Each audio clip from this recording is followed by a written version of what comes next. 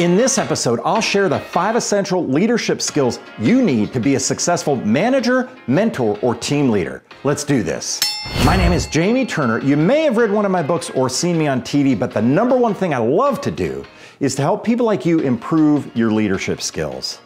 Skill number one great leaders work on their mindset first and their skill set second.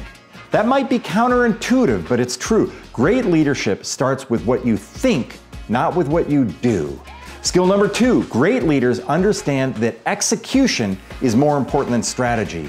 Many people think that it's strategic vision that separates great leaders from ordinary ones, but the fact is, great leaders get stuff done. They understand that ideas are easy, it's execution that's hard. Skill number three great leaders know it takes 20 years to build a good reputation, but only five minutes to destroy it. Reputation is built on character and trust. Don't destroy those things with impulsive decisions.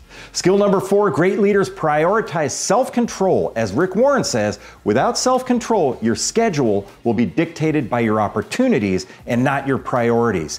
That's worth repeating. Without self control, your schedule will be dictated by your opportunities and not your priorities.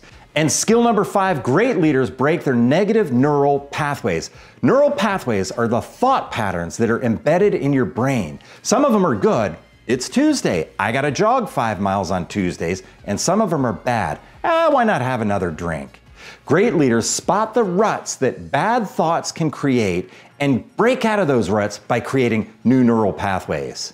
So there you have it five essential leadership skills you need to become a successful manager, mentor, or team leader. I hope you like what we've covered today. If you'd like to watch more videos like this one, click here and you'll be able to continue watching. My name is Jamie Turner. I'm an author, a professor, and a speaker.